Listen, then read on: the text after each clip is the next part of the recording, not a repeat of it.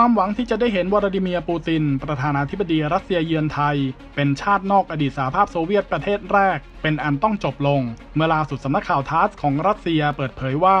ดิมิทรีเปรสคอฟโฆษกทำเนียบประธานาธิบดีได้ยืนยันว่า รัสเซียจะส่งแอนเดรโบโรซอฟ รองนายกรัฐมนตรีคนที่หนึ่งเข้าร่วมการประชุมสุดยอดผู้นำกลุ่มความร่วมมือทางเศรษฐกิจ ในภูมิภาคเอเชียแปซิฟิก แทนผู้นำรัสเซียที่เคยมีข่าวว่าอาจจะมาเยือน ซึ่งสอดคล้องกับรายงานจากกระทรวงการต่างประเทศที่ได้รับแจ้งจากสถานเอกอัครราชทูตรัสเซีย เมื่อ 10 พฤศจิกายน 2565 ถึงการไม่มาร่วมประชุมดังกล่าว ทั้งนี้มีผู้นำที่เตรียมเดินทางมาร่วมประชุมเอเปกในไทยแล้ว 15 ชาติและเขตปกครองพิเศษ ได้แก่ จีน ญี่ปุ่น ออสเตรเลีย อินโดนีเซีย ฟิลิปปินส์ สิงคโปร์ เวียดนาม แคนาดา ฮ่องกง ชิลี เปรู นิวซีแลนด์ และปาปัวนิวกินี ขณะที่สหรัฐอเมริกายังยืนยันที่จะส่งกามาลาแฮร์ริส รองประธานาธิบดีมาแทน เนื่องจากโจไบเดนติดงานแต่งหลานสาว ส่วนมาเลเซียเกาหลีใต้ เม็กซิโก และไต้หวัน ก็จะส่งผู้นำระดับสูงมาร่วมแทน นอกจากนี้ยังมีผู้นำอีก 3 ชาติที่จะมาร่วมประชุม ในฐานะแขกพิเศษ อันได้แก่ ฝรั่งเศสซาอุดิอาระเบีย และกัมพูชา ในฐานะประธานอาเซียนตัดมาที่สถานการณ์ในยูเครนล่าสุดโวลดิเมียเซเลนสกี้ประธานาธิบดีได้ยืนยันว่า กำลังพลสามารถทวงคืนดินแดนทางใต้จากรัสเซียได้ถึง 41 แห่ง รวมไปถึงเมืองซานีฮูริฟกาในแคว้นมิโคลายิฟที่เป็นเส้นทางเข้าสู่เมืองเคียซอนแคว้นเคียซอน โดยกองทัพย้ำว่าการรุกคืบเป็นไปอย่างระมัดระวัง แต่ก็เชื่อว่ารัสเซียไม่มีทางเลือกเนื่องจากเส้นทางส่งสเสบียง ถูกตัดขาด และระบบสื่อสารถูกรบกวน จนต้องตัดสินใจถอนกำลังในที่สุด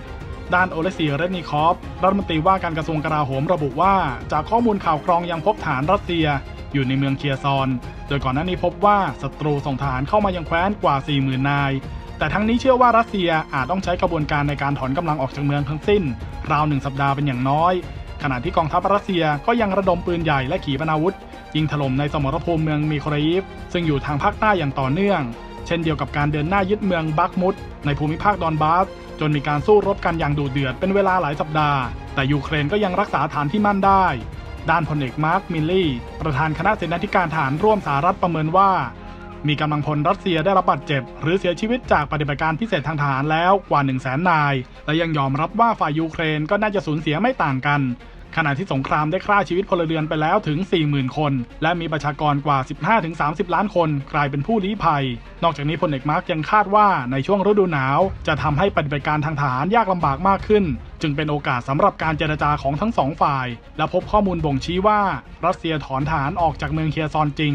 แต่อาจต้องใช้เวลาหลายสัปดาห์ โดยคาดว่าน่าจะมีกำลังพลอยู่ทางทิศเหนือของแม่น้ำดานิโป ราว 20,000ถึง30,000 นาย ทั้งนี้มีรายงานว่าสหรัฐเตรียมมอบความช่วยเหลือด้านความมั่นคงรอบใหม่อีก 400 ล้านดอลลาร์สหรัฐ รวมทั้งระบบป้องกันตนเอง และขีปนาวุธยิงจากพื้นผิวสู่อากาศ นอกจากนี้ยังมีรายงานจากสื่อสหรัฐด้วยว่า รัฐบาลได้เรียกร้องผู้นำยูเครน แสดงท่าทีต่อสาธารณะว่าตั้งใจจะกลับสู่วงเจรจา นั่นทำให้ผู้นำยูเครนออกมาขอบคุณประธานาธิบดีสหรัฐ และชาวอเมริกันอย่างยกใหญ่ ก่อนตั้งเงื่อนไขในการเจรจากับรัสเซียจะเกิดขึ้นก็ต่อเมื่อ ได้ดินแดนกลับคืนมาทั้งหมด